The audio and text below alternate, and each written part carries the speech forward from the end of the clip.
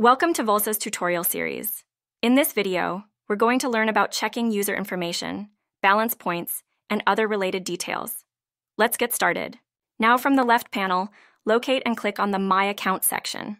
Click on My Profile here. Now, in this section, you can view all your user information including your mobile number, designation, and other personal details. Next, if you need to reset your password, click on the Change Password option. A password reset link will be sent to your registered email ID. Now, in the My Balance, you can view the points according to your specific plan. Here you can check various points such as search points, download points, trending company points, trending products points.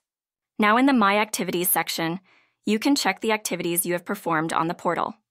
If you want to check your current subscription details, don't worry. Scroll down. Here you will see your current subscription plan and the end date of the subscription. If you are an admin and want to check the details of your team, go to the My Account section. Click on My Team here. Here you can check activities and see a summary of all team activities. That was all about the My Account section of Volza. Now, if you need more detailed training on this or any other topic, you can simply schedule a walkthrough with us. Now, for scheduling a walkthrough with us, click on the Schedule a Walkthrough option here.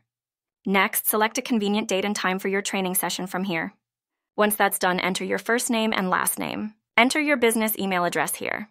Next, provide your mobile number, including the country code. Specify the topic you need assistance with here.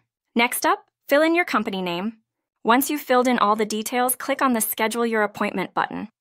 Now, your appointment is booked with one of our support team members. You have received a Zoom invitation and the details of the support member over your registered email ID.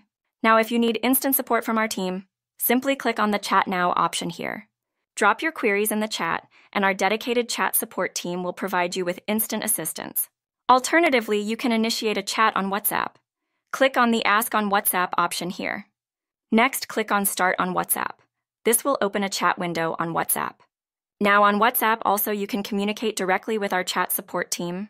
Thank you for watching this tutorial. We hope you found it helpful and are excited to explore all these features.